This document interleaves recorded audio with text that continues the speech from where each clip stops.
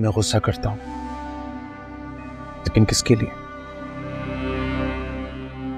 तुम्हारे लिए। तुम खुद सोचो यार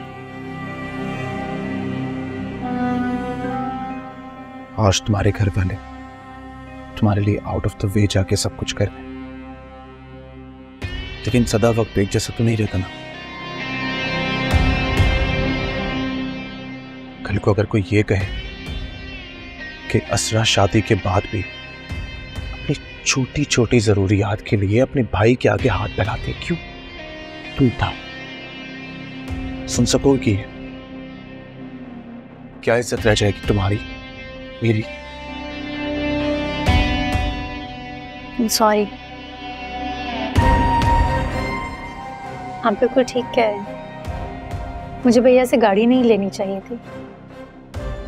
आखिर आपकी इज़्ज़त मेरी इज़्ज़त है, और मैं नहीं चाहती कि मेरी वजह से आपकी इज़्ज़त पर जरा सी भी आँच आए। मैं भैया से कहूँगी कि हमें ये गाड़ी नहीं चाहिए। मैं उनका ये गिफ्ट उन्हें वापस कर दूँगी।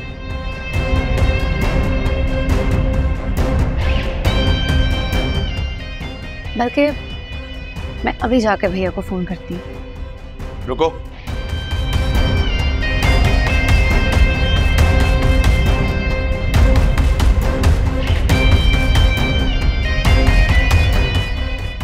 मुझे नहीं लगता कि अब इस मौके पे उन्हें मना करना मुनासिब होगा। आई सो कंफ्यूज्ड सिर्फ़ इस दफ़ा फ़र्स्ट एंड लास्ट ये गिफ्ट हम एक्सेप्ट करेंगे, लेकिन प्रॉमिस करो, आज के बाद कभी तुम एहतियात करो आई प्रॉमिस आज के बाद कभी ऐसा नहीं होगा। थैंक यू सो मच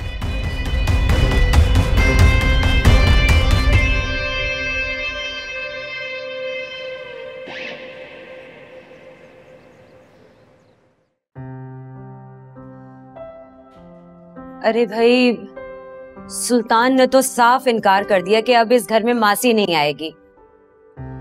वरना मैं तो तुमसे एक महीने तक कोई काम नहीं करवाने वाली थी।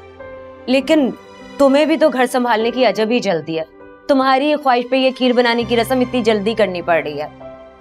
वैसे बात तो सिर्फ़ रस्म की है। तुमने तो आते ही सारा घर संभाल लिया।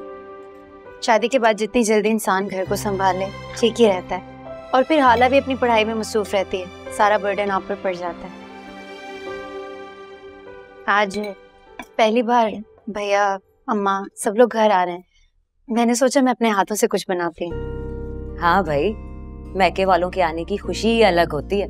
समझ सकती हूँ मैं तुम्हारी फीलिंग्स लेकिन बच्चे, जो काम आसानी से कर सको वो करना। बाकी सुल्तान से कह देना वो बाहर से आता हुआ ले आएगा। ज़्यादा थकने की बिल्कुल भी ज़रूरत नहीं है। कहीं ऐसा ना हो सरवजहां आपा कहें कि मेरी नाजों से पली बेटी को तल्लत ने किचन में झोंक दिया। ऐसी बातें करिए ऐसा कोई कुछ नहीं कहेगा और वैसे भी काम तकरीबन हो ही गया है। बाकी थोड़ा बहुत है ये भी हो जाएगा। वैसे मैं तुम्हारे साथ ज़रूर कोई काम करवाती लेकिन आज मेरी तबीयत कुछ ठीक नहीं है। नहीं नहीं आप फ़िक्र मत करें। आप बल्कि आप जाकर आराम करें मैं कर लूँगी। कोई बात नहीं। अच्छा चलो।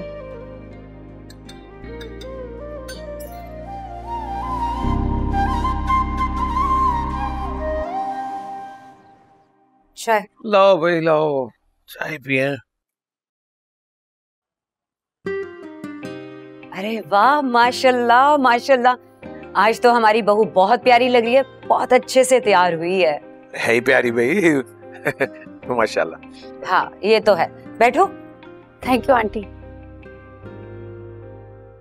टाइम देखा है सर कहाँ रह गए तुम्हारे घर वाले पंक्चुअलिटी भी कुछ चीज़ होती है।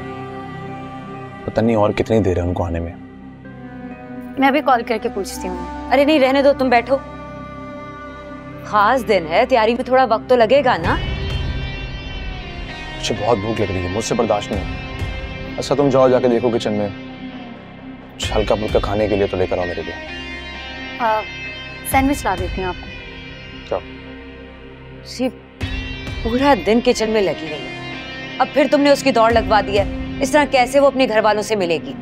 अब तो वक्त की पाबंदी तो करनी चाहिए ना। क्यों भाई सुल्तान? हाँ? वैसे भी आज से असरा ने ऑफिशियली इस घर की बहू की सारी ड्यूटी संभाल ली है। और अगर थोड़ी सी मेहनत कर रही है तो उसमें क्या हर्ज है? बिल्कुल ठीक कह रहे हैं भाई। अम्मी वैसे भी असरा सिर्फ़ अब बड़े घर की बेटी नहीं बल्कि भाई की बीवी भी है। अगर वो ये सब कुछ काम कर रही है तो इसमें कौन सी बड़ी बात है? मेहनत में ही अजमत है और तुम भी कर लिया करो कुछ। और आपको एहसास कमतरी का शिकार होने की कोई ज़रूरत नहीं है। सब कुछ है हमारे घर में। हम किसी से कम नहीं है। लेकिन ये जो बात आप उसके सामने कर रही हैं ना नेक्स्ट टाइम अब जब कोई भी काम वो करेगी उससे पहले जताएगी। इनफैक्ट कंप्लेन करेगी। सैंडविचेस ले आई अब दे दो बेटा सैंडविच लेकिन मैंने तो कभी किसी बात की कोई कंप्लेन नहीं की। वो इसलिए क्योंकि आज तक मैंने कभी तुम्हें कंप्लेन का मौका ही नहीं दिया। तो बोलो। क्या? यही कि आज तक मैंने तुम्हें शिकायत का कभी मौका नहीं दिया। आपने आज तक मुझे कभी शिकायत का मौका नहीं दिया। थैंक यू बहुत लगी हो तुम। तुम्हें मेरे जैसा सपोर्टिव हस्बैंड मिला। वाह भाई। साँझ को आँच नहीं मैं कहता हूँ सर्च लाइटें लेके ढूंढोगे मेरे सुल्तान जैसा नहीं मिलेगा। क्या नहीं नहीं तो। नहीं शुक्रिया। बैठो बेटा बैठो। ठीक। अच्छा सैंडविच में तुमने कुछ सॉस नहीं डाला? चिकन सैंडविच तो ऐसे ही बनते हैं ना। चीप सा।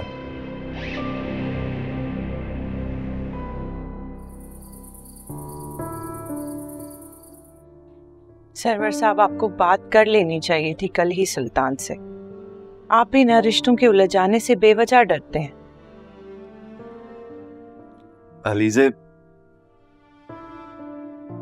ये जो रिश्तों के दरमियान जज्बों का रेशम होता है ना इसके उलझने से डरता हूँ। फिर मैनर जबान रोक लेती है। फिर अम्मा का कहा that's why I didn't call ठीक है आई अंडरस्टैंड पर पता है, मौका बहुत अच्छा था। गिफ्ट का मज़ा दोबाला हो जाता अगर एक बार मशवरा कर लेते तो।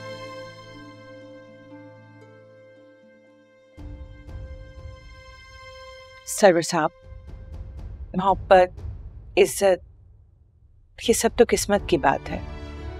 शादी के बाद लड़की की महके में इज़्ज़त होती है, उसका भरम रहता है। अगर अगर सुशाल की तरफ़ से सपोर्ट हो तोहफे तहाइफ का सिलसिला चलता रहे। ये फॉर्मेलिटीज होती रहे। तो हमें हमें असरा के लिए सोचना चाहिए ऐसा।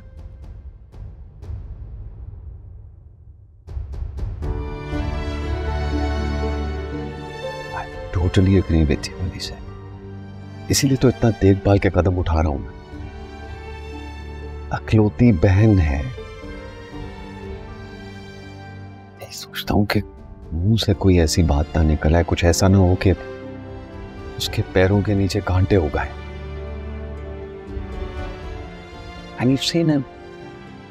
अच्छा खासा तो है हमारा बहनोई अच्छे मिजाज का है।